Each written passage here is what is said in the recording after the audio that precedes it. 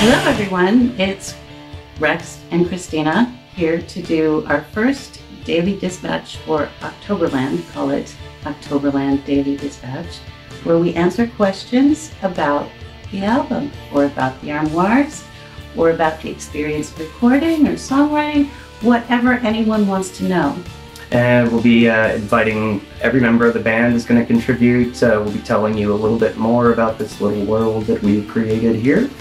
Um, and there's going to be some special guests, some surprises, uh, broadcasts from uh, uh, some of the locations that are key to the album. Anyways, every day we'll be uh, revealing a little bit more about what it went into this record that we spent a long time on. Yeah, and we're even trying out TikTok if you're a fan.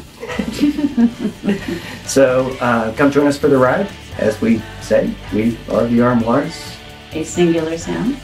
And we're probably still messing around. See you tomorrow.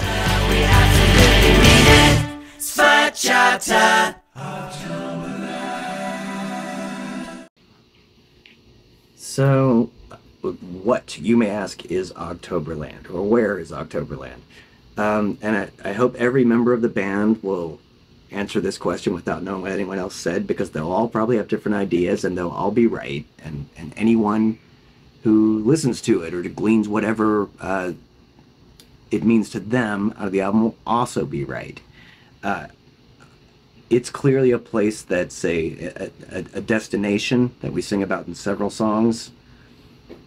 We talk about October as a month and, and various other sort of autumnal things as well.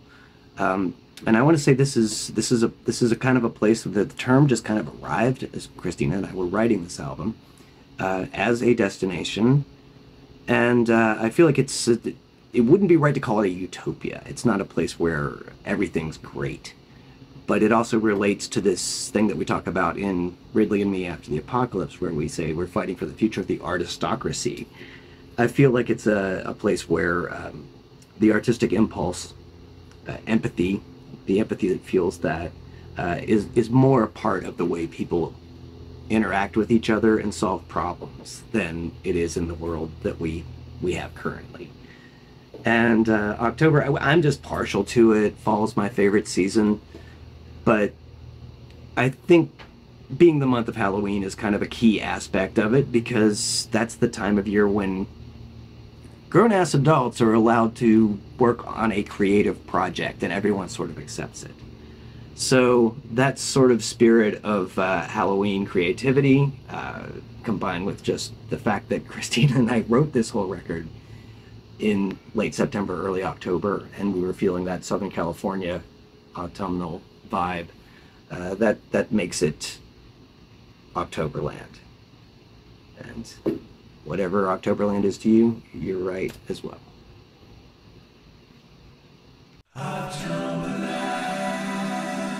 So, Christina, you've got a copy of Octoberland right there. And Octoberland's not just the title, it's something that's in the lyrics numerous times, that and just October itself. What or where hmm. is Octoberland to you? Oh, Octoberland is that place you build in your mind where you go for solace, for joy, for company. It's where animals roam the earth with the humans and the seasons change depending on your mood. Um, it's where you want to bring all of your dearest friends and family into to experience with them. Um, it's a world you build to escape, but also to share, I think. So, John, we are asking every band member this question. Uh, the record's named Octoberland. It's a little thing that we mention every once in a while. What and or where to you is Octoberland? Oh, what or where? I you know, just hearing October brings me back to, of course, fall and, and Halloween. And when my kids were young and I used to take them out trick or treating, I was always the one out there with them, going up and down all the streets in the neighborhood. And so that's kind of what I think of when I think of October. It takes me back to when my kids were young. Really, really, really cool time. So, Octoberland is a fictional place evoked in a few of the songs. What does it mean to you? Hmm. I think it represents a kind of whimsical autumnal feeling, like when you start to notice the end of summer and the fall breezes start coming in, and it kind of gives you a little chill, some goosebumps, and you start to feel like the world is gonna slow down, settle in a little bit. So, Cliff, what do you feel like has uh, changed in the Armoires since the early days? There's you've been playing for uh, for us for almost ten years at this point, and uh, four albums. So, what from the early days to Octoberland feels different? Um, well, different personnel, uh, of course, makes a person play a little differently, or you have to listen differently to play with different people. Uh, I mean, I like the fact that the songs have will change each album anyway. Uh, that's not necessarily a factor of time changing things a lot, except that I guess the sequence of one album to the next and group of songs happens over the course of time. Uh, I've also uh, maybe gotten a little bit better at bass. I'm a, I'm a, a converted guitar player. I don't even know if I'm converted really, but I'm um, I'm exploring. One of my probably most memorable contributions will be the title of this album. Uh, it was originally going to be like one of the last few things they've done where, for whatever reason, they've been using these strange, like Italian words like Zibaldone. Uh, and I, I just found that perplexing. And this one they were going to call Sfacciata, and I don't remember. That's also Italian.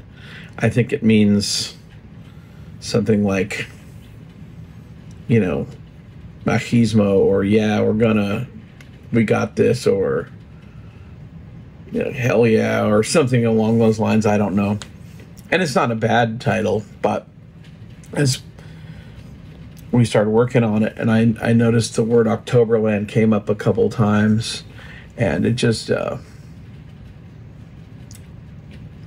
I remember uh, working on the vocals for that song, and uh, they just finished putting on their last bit of harmony and their last bit of singing, and they went outside to have a cigarette, and I said, "I know some, I know what to do," and I went up and just did like this big harmony stack on the word Octoberland.